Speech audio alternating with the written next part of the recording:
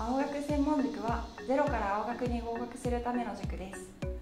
無料体験指導や受験の相談は下記の概要欄から申し込みすることができます。それでは動画に行きましょう。青山学院大学法学部出身の佐藤和樹です。よろしくお願いします。えー、立教大学経営学部出身の、えー、上島郁美です。よろしくお願いします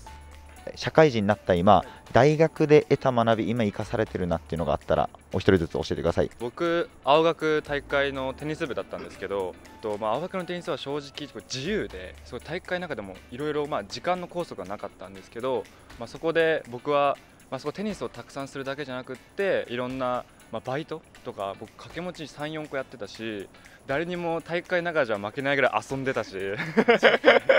お酒とかめっちゃ飲んでたし、まあ、でもそういうところでコミュニティとかすごく増えて就活で話す話題とかも困らなかったですね、まあ、今こうやって営業マンとして、まあ、僕商社で働いてるんですけど、まあ、遊んでた経験とかもすごい生きるなってお客さんとの会話もそうだしお客さんとの接待とかもすごいまあ生きるんですよ。そうやって自由でこういろんなことをやってきたからこそ、まあ、今こう人としての幅というか奥行きがすごい生まれてちょっと営業としてまあすごい頑張れてるかなとそこは学びかなと思ってます。僕は組織での立ち振る舞い方っていうのはすごい、えー、勉強になりました。自分の大会はすごい規律っていうところがすごい厳しかったんですけど下級生1年生だからこそできることとかやらなきゃいけないことっていうのをきちんと、まあ、上級生に教えてもらいましたし上級生になったら上級生なりの、まあ、立ち振る舞い方下級生の面倒見たりとか組織をどうしていけばいいかっていうのもすごい勉強になりましたしテニスプレーヤーとして自分のま立ち位置を考えながら、ま、どうやってあの組織に貢献できるかっていうところはすごい悩みながらでしたけどそこの悩みっていうのが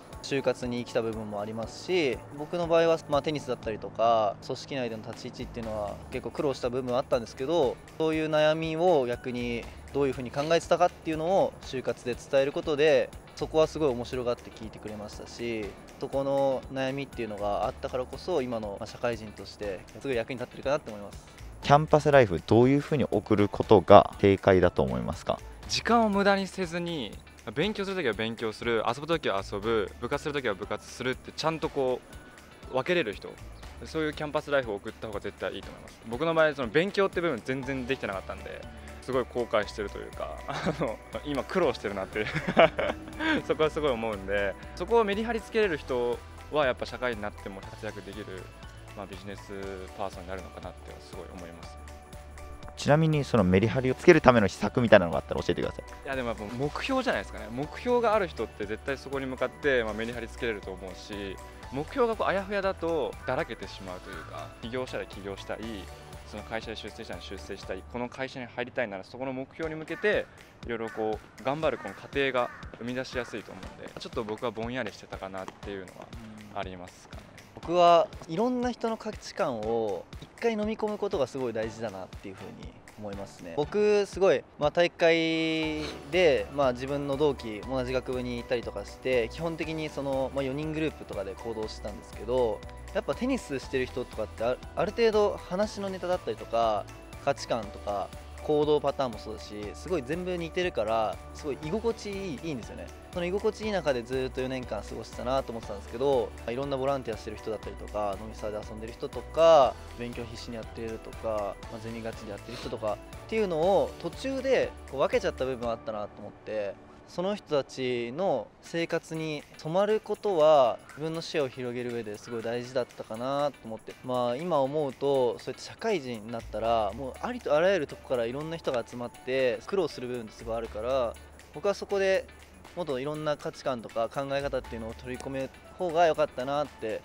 自分で時間使って、まあ、そういう団体入ったりとか、まあ、そういうことは次入ったらしたかったなと思いますね。青学立教を目指して勉強頑張ってる受験生に向けて応援メッセージアドバイスお願いします。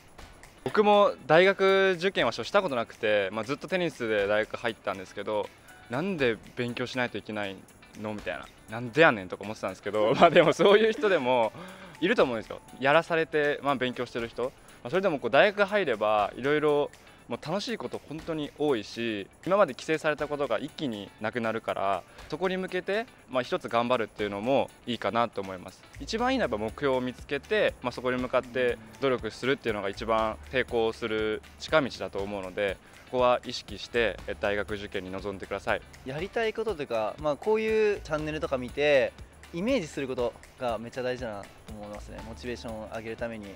自分もすごい大学入るまでに、まあ、テニスももちろんやったんですけど、まあ、最後必要なのが英語の試験っていうのがあってそれですごい苦労したんですけど自分が大学にいる時のことをイメージするってことが頑張れる秘訣かなと思うのでぜひこれを見てくださいね。乃木パーチャンネル登録よろしくお願いします。力